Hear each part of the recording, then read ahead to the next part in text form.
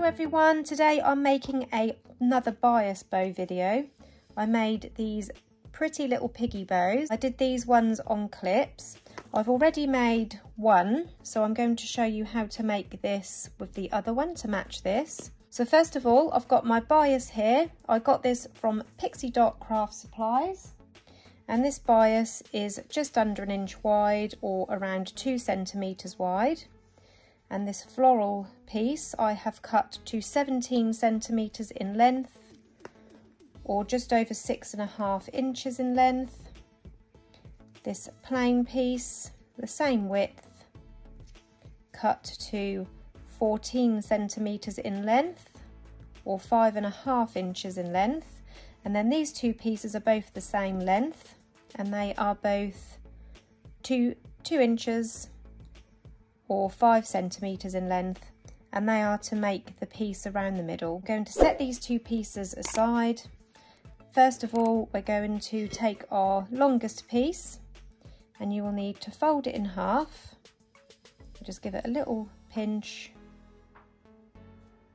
and then using the heat from my fingers we should end up with a little crease in there and that is what I'm going to use as my guide for the centre and then I'm going to fold both ends in and just slightly overlap that crease. So the crease is here and I've slightly overlapped the crease. I'm going to do the same with the other side.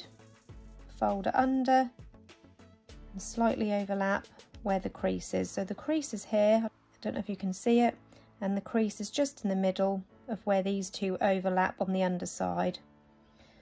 Once you've got this all lined up, pop a couple of clips either side of the centre like that and then we're ready to sew. At this point you can give it another pinch so you can see the centre, so you can see where you're sewing. I've got a needle here with some strong thread and a knot in the end and I'm going to sew across this crease that I've made four stitches going in through the first edge, through the top,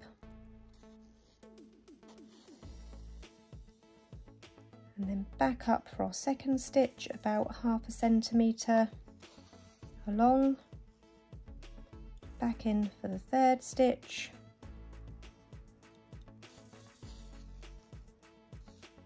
And then out through the last edge for the fourth stitch. And then you can remove those two clips. And then continuing with the same piece of thread so I'm just going to lay that down whilst we do the same steps with our 14 centimetre piece of bias. So again, I'm going to fold it in half, use the warmth of my fingers to make a crease. You can see it better on this one because it's not patterned.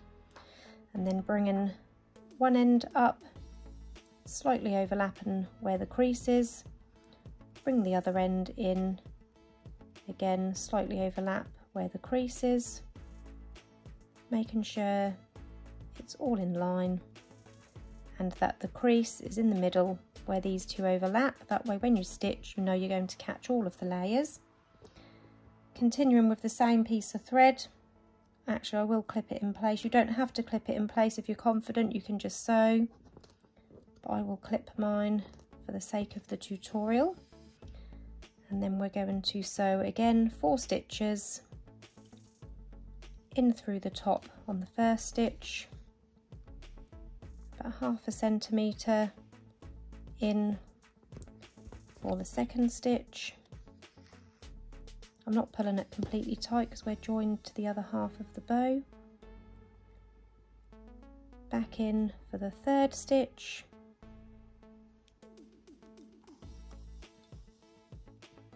And then back out through the last edge for the fourth stitch and then I'm going to remove those clips again. And this time when we pull it completely tight that will bring the two halves together.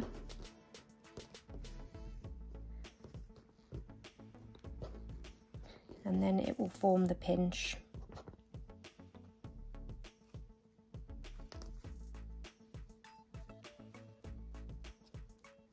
And then once you've got the pinch in there can wrap that thread around a couple of times. One, two, I'll do three. pull it tight and then just go in catching a bit of the cotton on the underside and then before you pull it tight go through the loose loop a couple of times to form a knot and that will hold it all in place and then you can trim off the excess thread just move my needle out of the way. And that is your double bias bow. And now we're ready to make our centerpiece. So I've got these two pieces here which are five centimeters each. You want to fold these in half. So bias is already folded at the back. I'm going to fold it in towards that folded side. And then using my hot glue gun I'm just going to place some glue inside.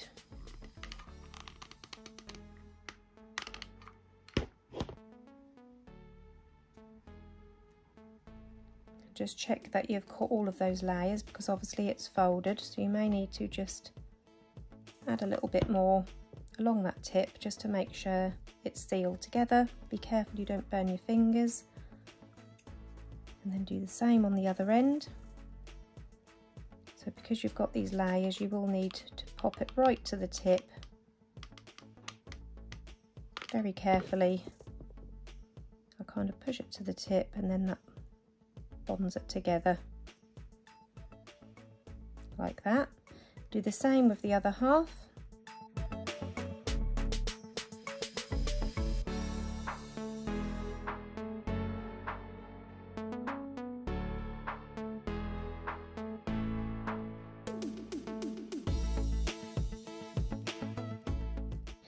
Then taking your two pieces of bias, place one on top of the other glue the top end, join them together, and then you need to bring the bottom piece over the top piece. So keeping this on the top, you're not folding it over, we're not twisting it, we're keeping the top of the bias on the top as we bring it over and lay it on the top of the floral piece. Again, flip it over, pop some glue on there to hold those two together. So you've got this cute little twisty effect in the middle. And then before we add this to the centre, we're going to add a clip.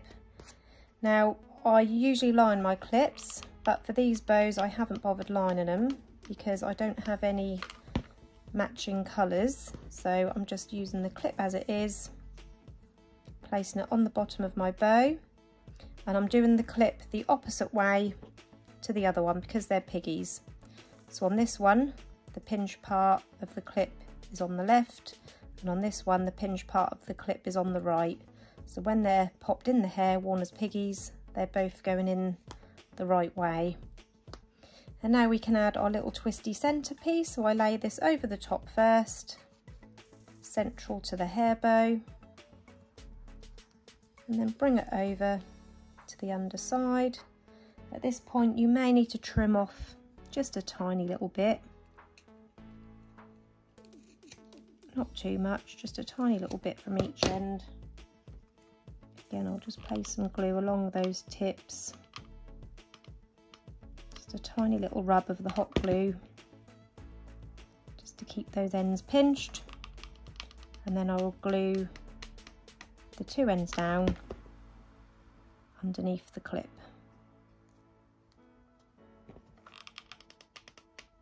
Excuse my squeaky glue gun, I don't know why it's so squeaky all the time. I've noticed in some of my tutorials when I watch them back, it's quite annoying.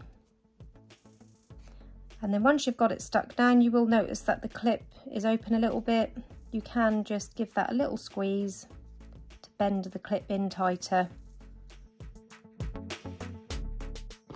And there you have your cute little cotton bias piggy sets. I hope you enjoyed this tutorial. If you did, please hit the like button. Don't forget to subscribe to my channel. And if you press the bell button, that will turn on notifications. Thanks for watching everyone. Bye.